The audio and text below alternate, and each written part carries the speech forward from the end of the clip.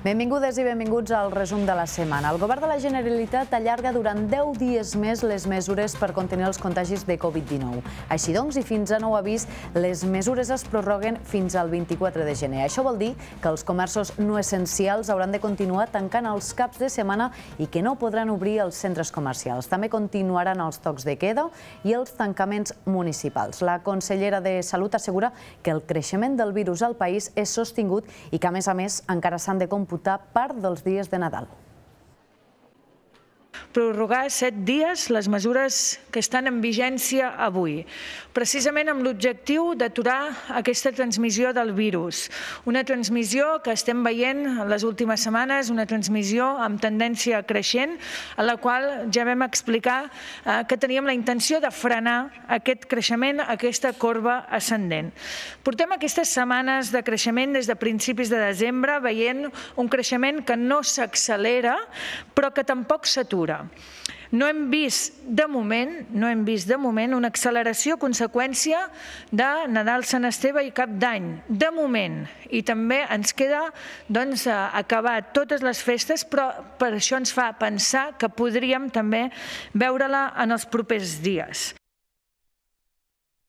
De fet, a Reus la situació és preocupant. La capital del Baix Camp torna a encapçalar el rànquing de Covid-19 a Catalunya. Només la supera Manresa amb una incidència de 750 casos per cada 100.000 habitants. A Reus, des de finals d'any, s'han registrat 709 casos per cada 100.000 habitants. La xifra és la segona més alta de tot Catalunya i que ha confirmat el Departament de Salut i que fa que Reus torni a encapçalar els rànquings de Covid a Catalunya. Només Manresa supera les xifres reusenques, que fa diverses setmanes que ostenta el lideratge d'aquest funès rànquing. Després de Reus, Cerdanyola del Vallès, Tarragona i Santa Coloma de Gramenet defineixen les cinc primeres posicions d'aquesta classificació, que només registra les ciutats de més de 50.000 habitants.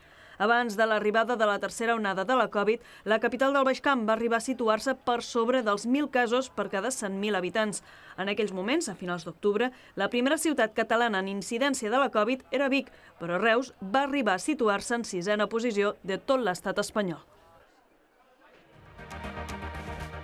I és que la incidència del virus continua a l'alça arreu. Aquest divendres, i segons les dades del Departament de Salut, l'índex de rebrot arreu s'ha situat fins als 889 punts. Portem tota la setmana incrementant lleugerament, però de forma constant aquest registre. De la mateixa manera passa amb l'RT, que de forma tímida va cada dia a l'alça i ja se situa per sobre de l'1,2, concretament a 1,23 punts. Això vol dir que cada 100 positius contagien la malaltia 123 persones. Per tant, tendència a l'alça. Els indicadors són són negatius arreu. A Catalunya s'arriba pràcticament als 750 d'índex de rebrot i s'està per sobre de l'1,35 en la velocitat de transmissió del virus. Com sempre, la bona notícia són les vacunes que ja superen les 120.000 persones. Ara bé, amb aquest ritme es trigaria pràcticament dos anys a enllestir el procés de vacunació a tota la població catalana. A Reus, rècord de vacunació en un sol dia, pràcticament 400 persones durant aquest dijous, que l'eleven la xifra total a fregar de les 2.000. De fet, sobre la situació sanitària a la ciutat també s'ha pronunciat l'alcalde de Reus. Som plenament conscients de la complicada situació en la que es troba la ciutat, però també el país, i en aquest moment doncs, no comptem amb bones dades, però entenent que l'estadística és creixent hem de prendre consciència de la situació. I des del govern de la ciutat ho estem repetint, eh, aquelles mesures de responsabilitat que no es prenguin en el seu moment, després tenen unes conseqüències que eh, ens venen al cap d'uns dies. Això ens ha passat factura aquest mes de gener i, per tant, prego i demano a tota la ciutadania, sense excepció, que actuï amb la màxima responsabilitat. Val a dir, però, que no ha estat fins aquesta setmana que han arribat les vacunes a l'Hospital Sant Joan de Reus. Així començava la campanya. L'Hospital Sant Joan de Reus ja ha començat la vacunació dels professionals sanitaris contra la Covid-19. En un primer lot han arribat 300 vacunes que s'administraran als treballadors en torns diferenciats de 3 hores cadascun. Es preveu que arribin més lots a partir d'aquest dimecres i es calcula que en menys d'un mes es puguin vacunar tots els candidats de l'Hospital Reusenc. Si, si anem a aquest ritme, que jo crec que el podríem augmentar i per tant escurçar d'allò, Sant Joan podria estar totalment vacunat, si, si no es talla el subministre de vacunes, el podríem, jo crec que en tres setmanes, quatre setmanes com a molt, podríem tenir tots els que vulguin vacunar-se estarien vacunats. Per tant, en, en un termini d'un mes, Sant Joan estaria totalment cobert. De moment, són 1.072 persones disposades a vacunar-se entre els diferents centres que es gestionen des de l'hospital, com l'atenció primària o el laboratori d'analítica clínica del grup Sagesa. Això comporta que vora un 70% de la plantilla es vacunarà, però creuen que aquesta xifra pugui augmentar després de les primeres vaccinacions. La primera en rebre la vacuna ha estat Judit Morillas, infermera de la unitat de cures intensives de l'hospital, qui té completa esperança en el vaccí. Soy enfermera, estoy trabajando en primera línea, estoy trabajando en la UCI y bueno, es un compromiso social, nos que, bueno, creo que nos debemos vacunar todos porque no es solo por mí, sino por, por la población para que alcancemos eh, esa inmunidad y podamos salir de ola tras ola, ola tras ola eh, y poder hacer vida un poco ya más normal. Ara, des de l'hospital, continuen amb la campanya de difusió per donar a conèixer les avantatges de la vacunació, perquè el nombre de personal sanitari disposat a vacunar-se continuï augmentant. I justament al voltant de les vacunes s'ha produït un fet que ha aixecat molta polèmica. L'alcalde de Riudoms i un regidor s'han vacunat aquesta setmana aprofitant dos dosis sobrants d'una campanya a la residència L'Onada del municipi.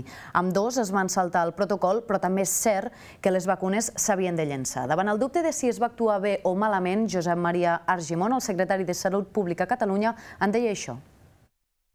A Riudoms és cert que qui es vacuna és l'alcalde i el regidor. Si vostè em pregunta si que un alcalde i un regidor es vacunin, doncs eh, no és el, no l'exemple, no és de bon tros el millor exemple.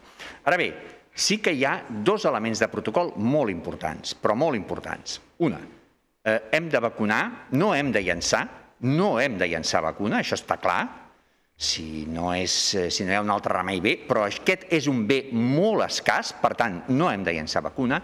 Dos, també hem de vacunar amb la màxima rapidesa i fluidesa possible. Per tant, aquí també hem de valorar què fem amb aquests sobrants. I, per tant, aquí sí que la coordinació i l'equip de, de vacunació ha de decidir. Em consta, i analitzarem molt bé la, la situació, però a mi em consta que van eh, analitzar altres possibilitats molt abans que no la de l'alcalde i regidor.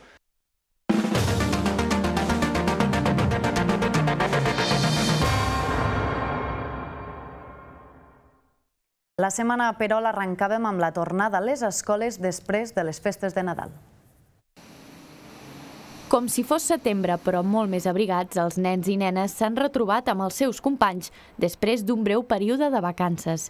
I és que aquest dilluns 11 de gener arrenca un segon trimestre tan atípic com el primer, marcat per la pandèmia. La mascareta, el gel hidroalcohòlic i el protocol d'entrada i sortida de l'escola s'han mantingut com fins ara. Evidentment vam començar amb una mica de, de pors al començament, però la veritat és que tant els nens com les famílies doncs les normes noves no? les van bueno, mm, agafar molt bé, els nens millor que nosaltres inclús, i doncs al final vam tenir sis grups confinats en diferents èpoques i la resta dels grups han pogut estar fent classe normalment des d'aquí. Sí que també hi ha hagut algun confinament d'algun alumne d'alguna aula, perquè havia estat en contacte amb positius, però la veritat és que doncs, molt bé. La tornada a l'escola ha estat envoltada de polèmica fins a l'últim moment. Després de les festes nadalenques, els casos de coronavirus no han parat de créixer. Davant la previsió que les dades epidemiològiques empitjorin i l'aparició d'una nova variant del virus que ja ha arribat a Catalunya, els experts no veuen amb bons ulls tornar a l'escola tan aviat. Els pares, però, tenen opinions de tota classe. Jo sóc de les que opino que hauríem d'haver fet 15 dies després de Reis, doncs que ja que ens hem de reservar una miqueta i hem de fer la seguretat, ara ja ens corria de 4 dies més, però bueno, intentarem fer-ho tot el millor possible, com sempre, a l'escola no hem fallat mai. Jo crec que el que hem de fer és el que s'està fent, que és tornar i en pic en base a la situació, en base a el que ens trobem ara, després de les festes, que és, no es pot predeir, llavors prendre una decisió, però tornar jo crec que és una bona decisió. Me han confinado antes en noviembre, y me lo paso 15 días en mi casa y pasa todo normal. Por eso digo, si no pasa nada, si lo abren ahora, no pasa nada. En aquest sentit, el Departament d'Ensenyament farà cribratges massius a tots els professionals dels centres educatius a partir d'aquest dilluns i fins al dia 29 de gener a través de kits d'automostra. La ventilació a les aules és imprescindible, malgrat les baixes temperatures registrades durant els últims dies. Per això, el Departament d'Educació de la Generalitat ha actualitzat el protocol de ventilació a les escoles perquè aquestes puguin mantenir un cert confort tèrmic. Y entre clases lo que se recomana es que sempre que sigui possible mantenir la ventilació de manera continuada amb portes i finestres, de manera creuada, i llavors una de les modificacions que hi ha hagut és que eh, la calefacció se connecta a les 6 i mitja del matí, perquè el mínim seria una hora abans de l'inici de les classes i nosaltres ho fem quasi dues hores abans i després a la final de la jornada s'ha pues, de mantenir totes les portes i finestres obertes mínim 30 minuts per renovar l'aire. Unes noves indicacions per part del govern català que coincideixen amb l'inici del cribratge massiu que des d'aquest dilluns s'està fent al personal docent i no docent dels diferents centres escolars. Se'n faran 170.000 a través de kits d'automostra.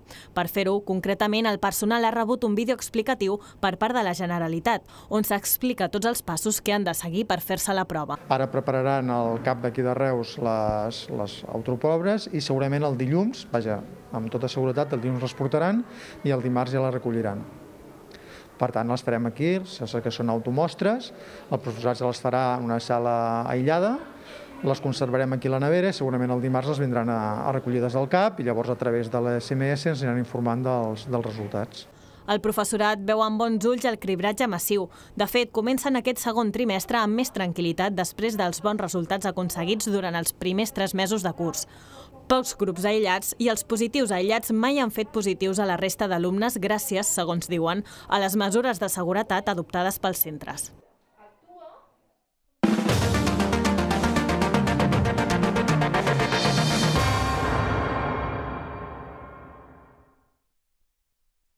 Aquest dijous ha fet un any d'aquestes imatges.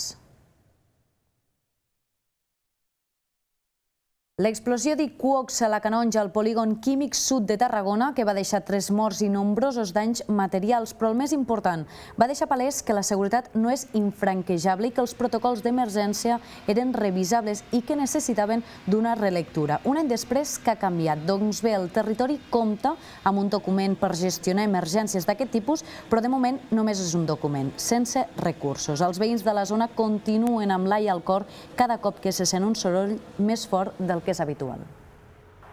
Como estamos acostumbrados, que como vivimos con la fábrica durante muchos años, tampoco nos lo tomamos en cuenta. Algún día hay algún ruido y te vuelves a acordar, ¿no? Te viene a la mente aquel día, ¿no? Que lo pasemos fatal, sobre todo las familias que teníamos hijos en casa, tuvimos que salir corriendo de aquí de Buenavista. Si tuviéramos dinero no iríamos, la verdad. Yo no me quedaba ahí viviendo muchos años, pero te acostumbras, te acostumbras a vivir con el que pase y esperas que, que, bueno, que no pase más. Todas son un peligro, es que todas, ¿eh? no digo esa donde sucedieron, sucedió esa explosión, es que todas las que están aquí cerca es un peligro, porque vivimos cerca de una bomba atómica, pero las personas hacen vida normal, van no, no se vive con esa sugestión, con ese miedo. Lógicamente estamos enfadados porque, a ver, si aquí eh, en principio te rompen los cristales, te rompen persianas, te rompen eh, las paredes y aquí no viene nadie, no, vamos a la asociación de vecinos, nos dicen que no hace falta denunciar, que hacemos una denuncia colectiva y que se van a entender, etcétera, etcétera, y no viene nadie, pues lógicamente aquí estamos totalmente desamparados. Supongo que tendrían que venir unas personas aquí, el ayuntamiento, unas personas y decir, bueno, a ver, aquí ha reventado una fábrica y si esa fábrica ha reventado, a ver, ¿qué daños tiene usted? Coger nota de lo que hay y venir a arreglarlo. Yo no me tengo que ocupar ni mover. Yo vivo en el barrio de Torreforta y por desgracia para todos nosotros estamos un poco acostumbrados a malos olores por las noches, algún que otro bufido, algún que otro golpe seco, algún que otra explosión y por desgracia para los vecinos nos estamos empezando a acostumbrar. I moment ara per fer una petita pausa per a la publicitat. A la tornada repassarem una altra de les grans sorpreses de la setmana, el temporal Filomena, que ens deixava imatges com aquesta. Fins ara.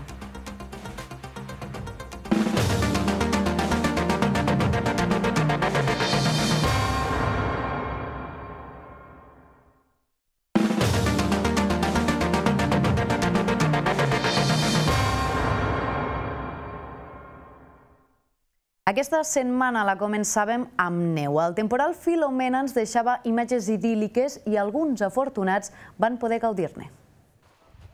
primera nevada de l'any i acumulació de neu a diversos pobles del Baix Camp i el Priorat. Les muntanyes de Prades s'han emblanquinat i han atret alguns curiosos que s'hi han volgut acostar a tocar la neu. Fa tres anys que va nevar al poble del Forja, no hi va haver aquest gruix de neu, però avui portem dos dies esperant a veure si que hi ha aigua neu i veient doncs, que no arribava, avui hem decidit agafar un trosset de cotxe i venir doncs, a, a tocar neu i l'experiència doncs, de passar una miqueta de fred, que és molt agradable. Venimos de las Borjas, eh, la carretera hasta aquí está bastante bien, pero una vez que intenta subir para arriba está ya un poquito acceso difícil. Estamos haciendo una guerra de, de, de bolas de nieve y, y, y, y, no, está mucho frío y la tenemos que hacer así. Vengo de Reus con un grupo de cinco amigos y vamos en moto de enduro y hoy vamos arriba a Pucherbe y están las condiciones del clima mucho frío y está complicado ir en moto hoy. Això sí, en plenes restriccions per la pandèmia i el confinament municipal vigent, no s'han produït grans aglomeracions de persones i tampoc incidències importants de vehicles atrapats a la neu. Tot i així, hi ha hagut diverses afectacions a les carreteres a causa del temporal Filomena. Al Baix Camp s'ha hagut de tallar el trànsit la carretera C44 entre Vandellós i Tivissa, mentre que en altres trams hi ha hagut de circular amb cadenes com a la T704 entre Reus i Prades o a la T702 entre Cornudella del Montsant i la Palma d'Ebre. També han patit talls les carreteres per anar a Porrera o a l'Albiol. Malauradament, la neu també ens deixava certes complicacions. Carreteres tallades, veïns a les fosques i oliveres afectades. La borrasca Filomena ha tocat de ple al Priorat. Pobles com Falset s'han despertat aquest matí així. Neu de fins a 60 centímetres. Cotxes que s'intueixen sota la neu i carreteres gelades. Aquestes, però, no han estat les úniques conseqüències de la borrasca en aquest municipi, perquè més d'un miler de veïns han patit un tall de subministrament elèctric que ha durat 15 hores, una situació que el consistori ja treballa per evitar en futures ocasions eh, fer previsions, eh, estàvem tots previnguts amb el que venia el temporal, no amb aquests gruixos que, que, que ens han caigut, tant aquí al Priorat com a Terra Alta, però hauríem de tindre aquesta previsió de que més que res aquests talls de llum que creen tanta preocupació i, i angoixa i que poden derivar en alguna situació complicada, doncs eh, no es tornin a repetir. Són talls de llum de 15 hores. Eh, aquí ens va passar a la nit, però 15 hores doncs, és, és, és molt i també eh, provoca situacions que, no, que, no, que ens hem de poder estalviar, perquè ja és prou complicat. Des del consistori demanen màxima precaució i evitar desplaçaments innecessaris, ja que les condicions actuals són molt complicades. Una petició a la qual també s'hi sumen les autoritats catalanes. De fet, la neu ha comportat que el sostre d'una nau de l'empresa Fermator de la capital del Priorat s'hagi enfonsat per complet. No s'ha hagut de lamentar cap ferit, però s'ha activat un pla d'inspecció dels edificis de la zona per prevenir altres enderrocaments pel pes del gel. Ara, els veïns afectats per les conseqüències d'aquesta borrasca esperen tornar a la normalitat el més aviat possible. A nosaltres ens ha tocat treballar una mica perquè, clar, eh, cotxes que no arrencaven al cap de setmana, eh, alguns clients que tenen màquines per netejar les carreteres, i bueno, avui pues, ja ho veus, eh, netejant i, i començarem a treballar quan puguem. De moment, poca cosa. Només ens queda aguantar i, bueno, passar com puguem. Ja ha estat dos dies nevant molt i ara s'ha acumulat aquí la neu i bueno, fem pas perquè la gent pugui sortir i pugui moure's una miqueta. Vindrà la segona fase, que serà el fred, tot això es gelarà i continuarem uns dies tinguent algun problemilla. Doncs aquesta és la postal de Falset després del temporal Filomena. La neu ja acumulada després de que les màquines hagin començat a retirar eh, la neu i el gel de les vies però tot això també ha comportat que les escoles hagin de romandre tancades. De moment no se sap quan podran tornar a obrir, a obrir perquè volen assegurar-se de que la mobilitat sigui completament segura. I és que una imatge molt idíl·lica, però que evidentment comporta dificultats. El cultiu d'oliveres és el que ha quedat més tocat a causa del temporal Filomena, especialment a la comarca del Priorat. De moment, però, les pèrdues encara no s'han pogut comptabilitzar perquè els pagesos no poden accedir a les finques i, per tant, encara desconeixen l'abast de la tragèdia. Un nou temporal que ha castigat durament el territori que encara es troba recuperant-se del glòria del gener de 2020. En aquest sentit, des d'Unió de Pagesos reclamen que les administracions aboleixin els greuges comparatius entre el món rural i l'urbà una bona part de, de les nevades han deixat els municipis de, del món rural sense llum, sense telèfon i sense comunicació. i, i sembla ser que uh, són coses de, de que en una situació difícil encara al món, al món rural continuem patint les, les, les mateixes incompetències que, que fa 50 anys. No? Les línies elèctriques no s'arreglen, eh, per arribar a l'internet en els municipis és dificultós, i aleshores l'únic que demanem és una mica d'igualtat d'oportunitats. Una reivindicació compartida per part del Consell Comarcal del Priorat que assenyala la necessitat de comptar amb recursos de qualitat per eliminar les diferències entre poblacions. D'altra banda, el president de l'ens comarcal apunta que la taula de diàleg que crearà el govern de la Generalitat pot pal·liar els efectes de la Filomena. Entenc que les taules estan per fer un treball eh, que estiguin a peu d'unes eleccions no hauria de comportar que no es tiressin endavant. Al final tenim un problema i, i aquest problema eh, es pot extrapolar a altres bandes de Catalunya. El que s'ha d'intentar és que, que això no torni a succeir i per això s'han de prendre mesures. Jo crec que fins i tot pot arribar a ser constructiu en unes eleccions vista perquè al final s'ha de fer un plantejament de que hi ha coses que no funcionen com haurien de funcionar. Jo crec que eh, per un govern nou que pugui sorgir d'aquí s'ha de replantejar moltíssim. La recentralització cap a nuclis urbans grans al final eh, està molt bé, però al final el, el context de territori va molt més enllà i, i hi ha una manca d'estructura i d'infraestructures. Tot plegat a l'espera que la situació climatològica millori i permeti tornar a la normalitat tant al Priorat com a la Conca de Barberà, la Terra Alta i part del Baix Camp. I justament amb les imatges més boniques que ens ha deixat el temporal, nosaltres ens acomiadem. Recordin que poden seguir informats a la nostra pàgina web, canalreustv.cat i a través de les nostres xarxes socials. Gràcies per la seva confiança i que acabin de passar un molt bon cap de setmana.